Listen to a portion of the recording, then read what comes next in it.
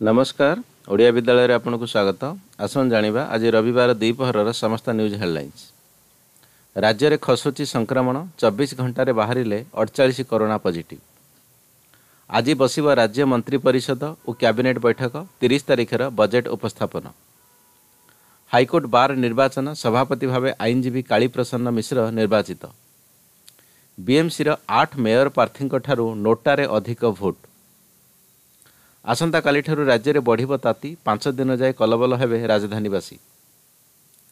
କାନ୍ଥରୁ ବାହାଚିତା ଲିଭିନି ହେଲେ ଲିଭିଗଲା ଜୀବନ ଦୀପ ପରକିଆ ପ୍ରୀତି ସନ୍ଦେହରୁ ବିଷ ପିଇ ଜୀବନ ହାରିଲେ ନବଦମ୍ପତି କେନ୍ଦ୍ରାପଡ଼ା। ଆସନ୍ତା ଶିକ୍ଷାବର୍ଷରେ ଢେଙ୍କାନାଳରେ ସୈନିକ ସ୍କୁଲ ପ୍ରତିଷ୍ଠିତ ହେବ ଏଥିପାଇଁ ପ୍ରତିରକ୍ଷା ମନ୍ତ୍ରଣାଳୟର ଅନୁମୋଦନ ପ୍ରକାଶ କରାଯାଇଛି।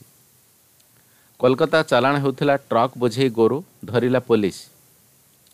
ଆନ୍ଧ୍ରପ୍ରଦେଶ ବିବାହ ପାଇଁ ଯାତ୍ରୀଙ୍କୁ ନେଇ ଯାଉଥିବା ବସ୍ ଦୁର୍ଘଟଣାଗ୍ରସ୍ତ ସାତ ମୃତ।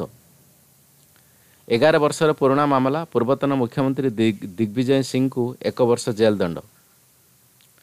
ଜେଲ୍ରେ ରହି ଆଇଆଇଟି ଜାମ୍ ପରୀକ୍ଷାରେ କୃତକାର୍ଯ୍ୟ ହେଲେ ଛାତ୍ର ସଫଳ ପାଇଁ ମିଳୁଛି ଶୁଭେଚ୍ଛା। ଇ ସ୍କୁଟର ଫାୟାର ଆକ୍ସିଡେଣ୍ଟ ଏକାବେଳେ ଚାଲିଗଲା ବାପ ଝିଅଙ୍କ ଜୀବନ ତାମିଲନାଡୁ। ଆଜିଠୁ ଦେଶରେ ଉଡ଼ିବ ଆନ୍ତର୍ଜାତିକ ଯାତ୍ରୀବାହୀ ବିମାନ। କରୋନା କଟକଣା ଯୋଗୁଁ ଆନ୍ତର୍ଜାତିକ ବିମାନ ଚଳାଚଳ ଉପରେ ଲାଗିଥିଲା କଟକଣା। ଆଜିଠୁ ହଟିବ।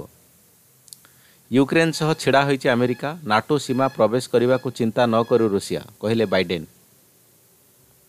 ଇସ୍ରାଏଲର ପ୍ରଧାନମନ୍ତ୍ରୀ ନପ୍ତାଲି ବେଟେନ୍ ଓ ପ୍ରତିରକ୍ଷା ମନ୍ତ୍ରୀ ବେନି ଗେଜେଟ୍ଙ୍କ ମଧ୍ୟରେ ଯୁକ୍ତିତର୍କ ହୋଇଛି। ଉଭୟ ଭାରତ ଯାତ୍ରାକୁ ନେଇ ମୁହାଁମୁହିଁ ହୋଇଥିବା ନେଇ ଜାତୀୟ ଗଣମାଧ୍ୟମରେ ଖବର ପ୍ରକାଶ ପାଇଛି। ପାକିସ୍ତାନ ଇସଲାମାବାଦରେ ଆଜି ରାଲି ଇସ୍ତଫା ଦେଇପାରନ୍ତି ପ୍ରଧାନମନ୍ତ୍ରୀ ଇମ୍ରାନ ଖାନ୍। ଏପ୍ରିଲ ଏକ ତାରିଖରେ ଭାରତ ଗସ୍ତରେ ଆସିବେ ନେପାଳ ପ୍ରଧାନମନ୍ତ୍ରୀ ଓ ଭାରତର ପ୍ରଧାନମନ୍ତ୍ରୀ ନରେନ୍ଦ୍ର ମୋଦିଙ୍କୁ କରିବେ ସାକ୍ଷାତ। ୟୁକ୍ରେନ୍ର ଶରଣାର୍ଥୀଙ୍କୁ ଭେଟିବା ପରେ ପୁତିନଙ୍କୁ କଂସେଇ କହିଲେ ଆମେରିକାର ରାଷ୍ଟ୍ରପତି ବାଇଡେନ୍।